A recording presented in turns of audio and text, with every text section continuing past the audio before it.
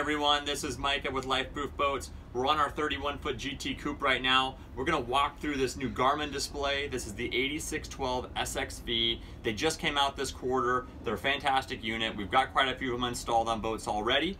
But I thought we'd walk through this right now and take a quick look on how to change sources for the GPS antenna, just to give you a little bit of insight on how to do that and uh, go from there. So come on in, we'll take a quick look. So right now we're just at a normal navigation display.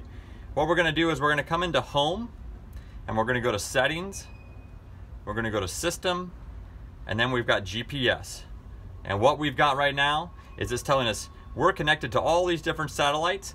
In the green is good, and that means that we're getting good connection to those satellites. This is exactly what you'd hope to see uh, when you're out on your own boat.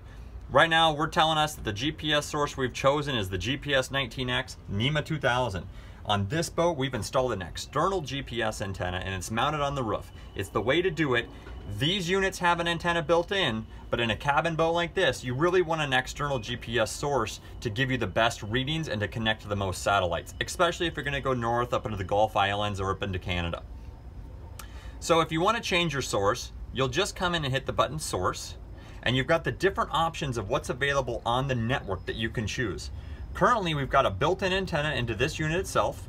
We have a built-in antenna into the unit right next to it. Even though this is a Yamaha display, it's a, really a Garmin display on the inside if you were to actually dig into it. So it too has a built-in GPS antenna. We have the NMEA 2000 GPS antenna that's on the roof of the boat, and then you have the option to go auto. I'm gonna click the Yamaha, for example. You can see our source now says Yamaha, and you can see it's changed in the amount of bars we have and the connection quality. Because this is inside the dash, the connection quality is not as good. So we're gonna go back to source and back to NMEA on the roof and look how much it's changed.